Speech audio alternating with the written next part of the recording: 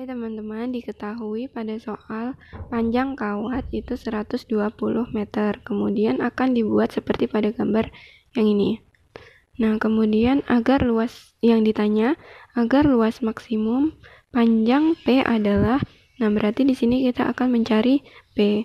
Nah, sebelum menjawabnya, kita perhatikan e, langkah untuk menjawabnya.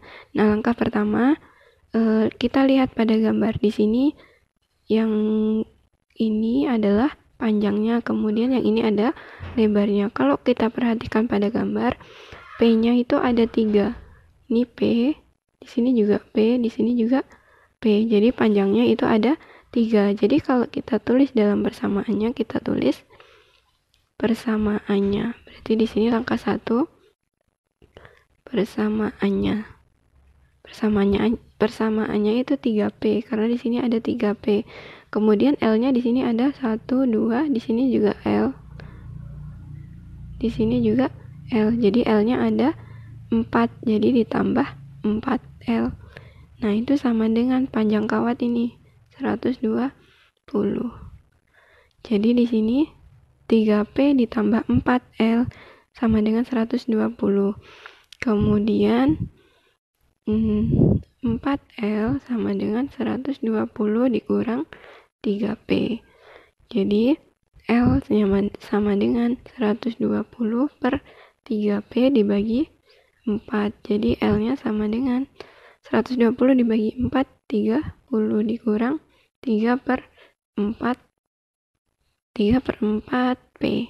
Di sini P. Nah, ini nanti langkah selanjutnya itu kita cari eh, persamaan luasnya.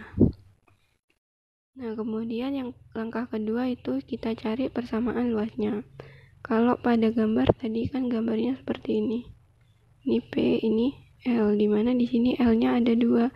Berarti lu, e, luasnya itu adalah panjang dikali 2L. Ya, jadi sama dengan panjang dikali 2 L-nya kita masukkan yang ini. 2 30 dikurang 3 per 4 P.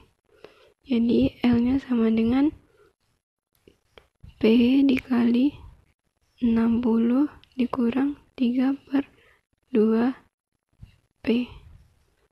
Jadi L-nya sama dengan 60 P dikurang 3 per 2 P kuadrat.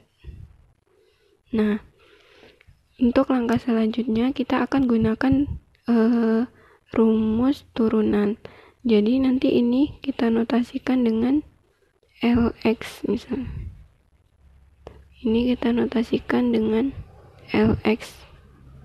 Jadi langkah selanjutnya langkah yang ketiga kita gunakan turunan di mana nanti syaratnya L aksen X atau turunannya itu sama dengan 0 jadi ini kita turunkan yang ini. Berarti 60 dikurang 3 P sama dengan 0 di sini kan 0 jadi 3P sama dengan 60 jadi P sama dengan 60 dibagi 3 jadi P sama dengan 20 jadi kesimpulannya panjang kawatnya itu adalah 20 meter.